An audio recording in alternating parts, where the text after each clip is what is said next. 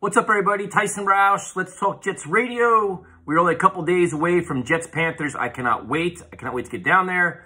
Uh, looking forward to meeting everybody that's going. We have the, uh, we'll probably arrange a meetup on the Saturday night. We have the tailgate on Sunday. If you're not going to Carolina, but you're going to MetLife week two, we will be there as well. So can't wait. A lot of fun. Um, some quick, like just comments on what's going on with the Jets. And the biggest news was the injury report came out, the first one.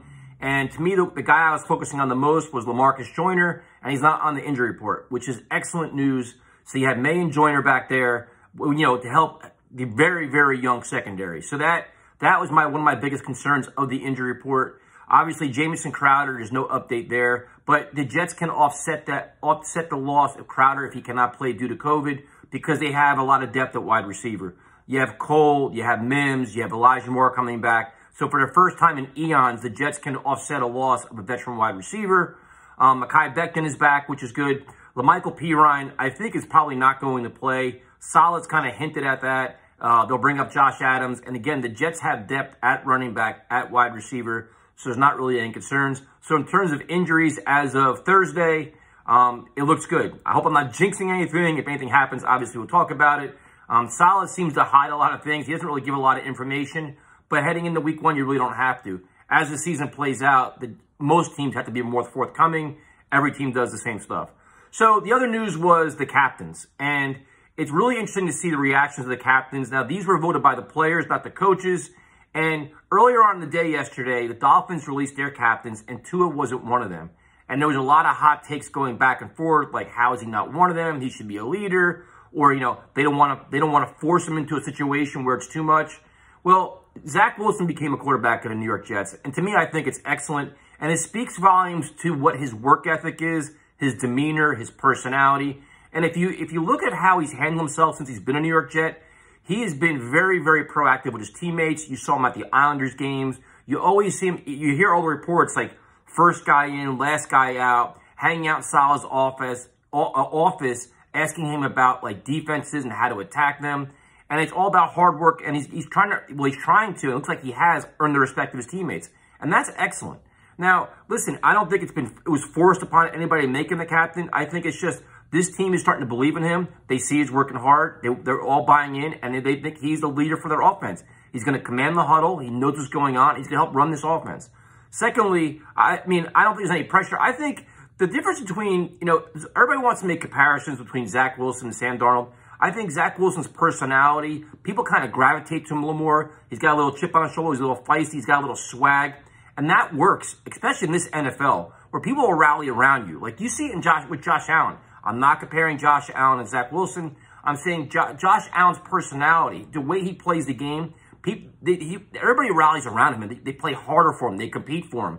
And that's the same thing you want to see out of Zach Wilson and his teammates. So again, a lot remains to be seen. Once you get on the field in live game action, he takes some big hits. Does he pop up? How he handles diversity? That'll gain you either that'll sink or you'll sink or swim there.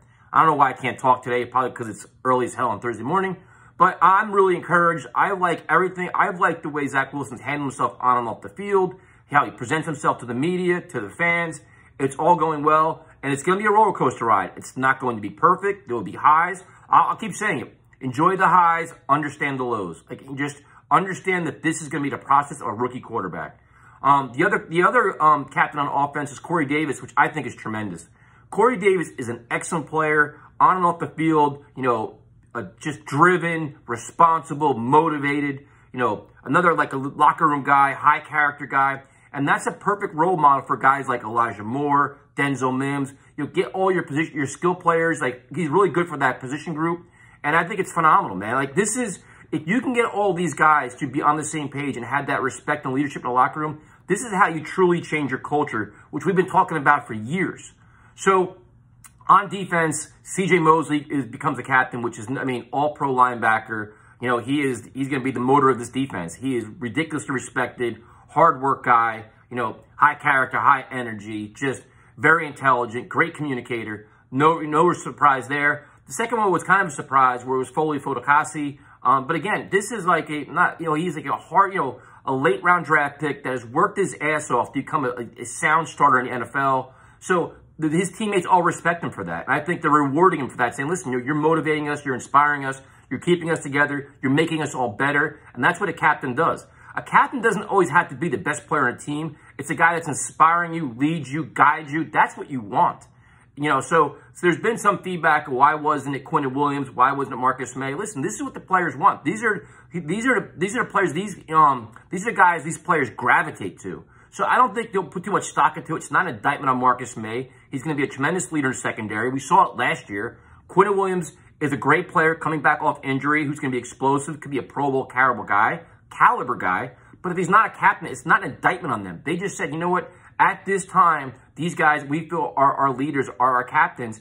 And then the coaching staff will appoint somebody else each week. So if Marcus Maye keeps coming on, they'll be like, hey, you know what? You're our captain this week, and you do it. And it also gives guys incentives. So I don't read too much into this. I think it's encouraging. The other, the uh, special teams captain is Justin Hardee, which is no surprise.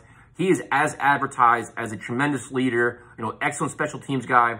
It'll be interesting to see if he gets any snaps at corner. But again, this is all, I, I like all the selections. I think they make sense. I'm not going to overanalyze and give you any hot takes. I just think you can see the direction this team is heading, a lot of positive energy, a lot of, you know, it's just, it's a lot of good momentum. And you, you go into Sunday very excited. Um, I, I, like I said, we'll do our game previews. What's today? Thursday, tomorrow night. We'll break it all down. You know, we'll obviously have game recaps and stuff. But for me personally, when anybody keeps asking about, you know, what do you think as a Jets fan? I am ridiculously excited. I love the direction of this organization. I'm not focusing on wins and losses. I'm focusing on improvement week in and week out, getting this coaching staff acclimated to just, a lot of these are first-time coaches, getting everybody the same page, you know, getting just improvement, development, play physical, play competitive, play smart, and see what happens. So, again, thank you guys for watching all our videos. We appreciate it. I probably spoke too fast because I've been drinking a ton of coffee because I'm just, I don't sleep much. And we'll talk to you later.